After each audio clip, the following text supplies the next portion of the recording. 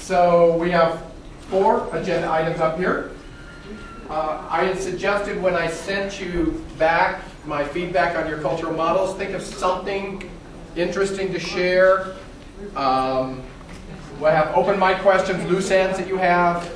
Uh, we'll talk about individual project ideas and a quick itinerary packing list review since this is the very last time we get together before January 3rd at the Majestic Hotel in Rabat, Morocco.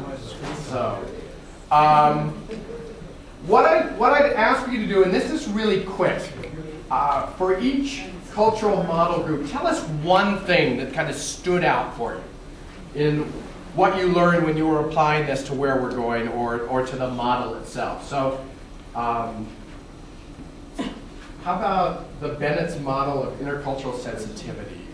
Does anyone? Yeah. Can you tell us something that sort of like you walked away with it with an aha or a thought or a question? Um, well, like for me personally, since I'm the only Yeah, since you're the you are the group. I am the group.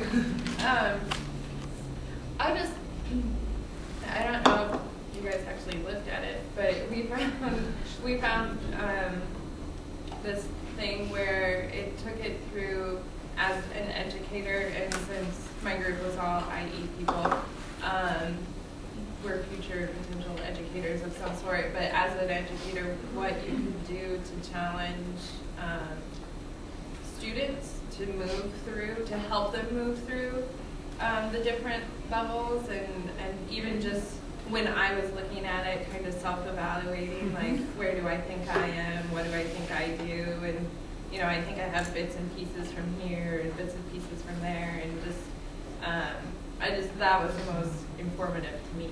So how do you challenge people to move on? Of course, you all read it and you, you understand the presentation, um, but Bennett's model, how do you challenge people to move to become more ethno-relative and less ethnocentric as an educator? Great.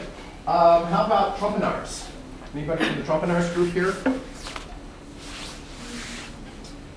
Um, I can't really be like super specific because honestly it was like a month ago with TPI I totally forgot Yeah. But I remember when we were doing it, I remember talking to Pam and being like, wow, Morocco is the exact opposite of every one of our like values. And so I mm-hmm. started getting a little nervous about how much culture shock I'm actually going to have going there because I've never been to a country where everything is different, maybe a couple things, and you can sort of deal with it, but I feel like everything at once might be a little overwhelming, so I like mentally prep myself for I think that's a real good point. Be, be open to, um, when you start to make a judgment about something, to be open to, wait a second. This is a whole different perspective. This is a whole different way of understanding the world. So, Yeah. uh, Hofstede's group. Do we have anyone from that group here? Yeah. Um, ours was pretty similar as far as being opposite, but there was some that was similar. Like I, I worked on the section for um, masculinity, femininity, Right. and they were both pretty masculine cultures. So, but besides that, I think they were all opposite. And, uh, it just, yeah, and, and mention, one of the things we'll do when we're in Morocco at one of our meetings is I'm going to have the groups get together again in Morocco after being there for three or four days. And to kind of compare notes with what you studied beforehand, now how does that apply to what you're seeing and understanding? So, um, Hall, Edward Hall's group. I saw Don's name. Don's name is on this, so I know that at least one person is here. Our If not, entire group is here, but our low-res folk. Um, So we were talking, we focused mainly on high-low context. And it- to me, anyway, it wasn't a big surprise what, I- what we were finding. Um, Personally, it's, my international experience has- has resembled this anyway, in terms of of contextual or high-low context.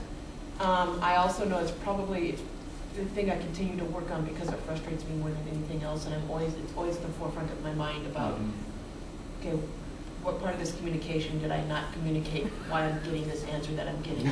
Yeah. Okay, like I'm always asking myself. So that was, I, there wasn't a whole lot of, I, ex- I don't expect to find, personally from my international experience, a lot of differences.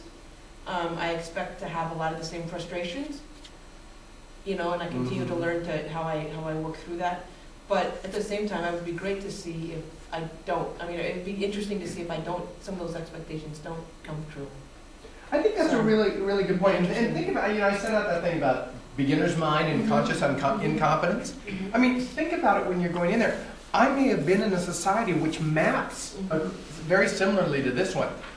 But if I go in with those expectations, I may not actually see what the differences are. Right. And so to go in and say, I'm incompetent here. I'm a beginner. Yeah.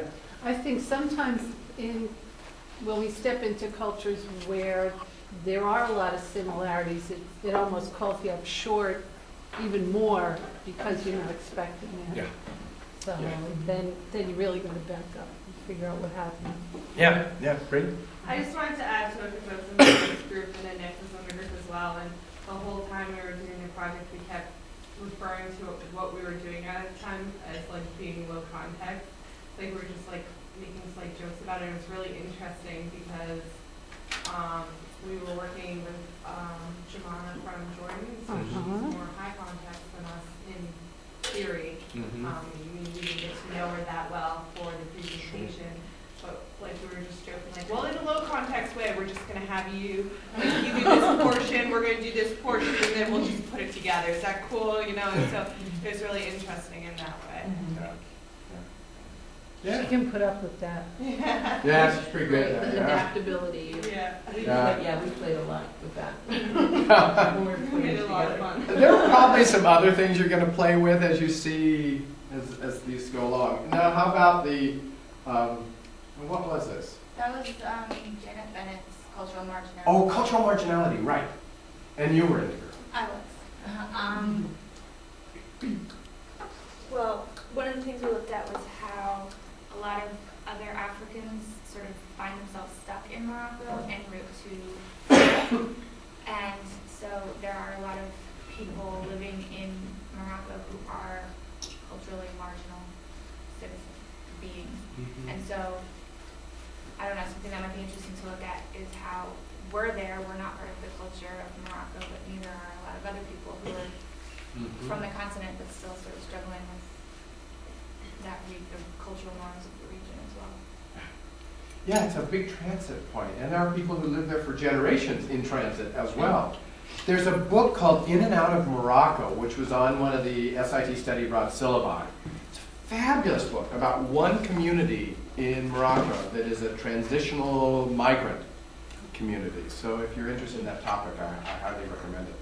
So, And also, um, another interesting thing that I was like thinking about from that group is that um, traditionally Morocco was an immigrant mhm. um, society where they were sending a lot of their people to work in Spain. Mhm. And once the same time that that was kind of coming to an end, um, more people were immigrating into Morocco. So just the Mm. demand for jobs was already so high, and then so it's like almost like the population like doubled in terms of working, and so Mhm. like just the strain that that puts on a country and its economy. Mhm. So that was, I didn't really know about that before. Yes. So these are just some, this is this piece of bringing theory into experience. This is the theory, now you're about to have the experience. We're about to have the experience. Um, I want to um, shift here for a second and keep track of, let me just tear this off so we have the agenda shown. Is there paper in here? Yeah. Put this up here.